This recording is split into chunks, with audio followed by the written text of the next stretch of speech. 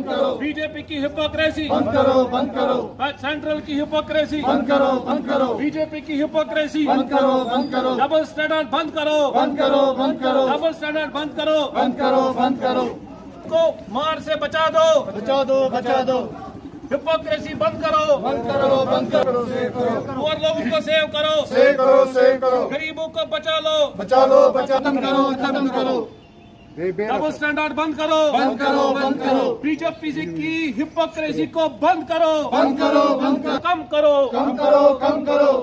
को मार को बंद करो। बंद करो। मेरा नाम एम यूनिस नाइक है और मैं आम आदमी पार्टी का स्टेट कोऑर्डिनेटर हूँ। इस वक्त जो है कल से जो हमारी पार्टी की तरफ़ से इंस्ट्रक्शन है कि पूरे देश में जो है पेट्रोल और डीजल के जो रेट्स सेंट्रल गवर्नमेंट ने हाई किए हैं उसके विरोध में पूरे देश में जो है विरोध प्रोटेस्ट अगेंस्ट सेंट्रल गवर्नमेंट की जो ये नाकामी है उसके खिलाफ हम यहाँ पे भी श्रीनगर में press conference press conference Srinagar में भी प्रोटेस्ट करने आए हैं।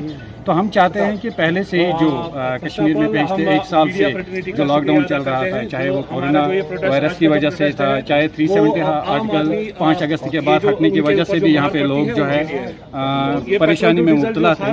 फिर भी उसके बावजूद भी यहाँ की एडमिनिस्ट्रेशन को भी सोचना चाहिए और सेंट्रल गवर्नमेंट को भी सोचना चाहिए कि पेट्रोल के प्राइसेस जो आप हाई कर रहे हैं कम से कम लोगों की जो मारदाड़ है उस पर तो उसको थोड़ा तरस खाइए और इसको वापस लिया जाए जो नॉर्मल रेट है।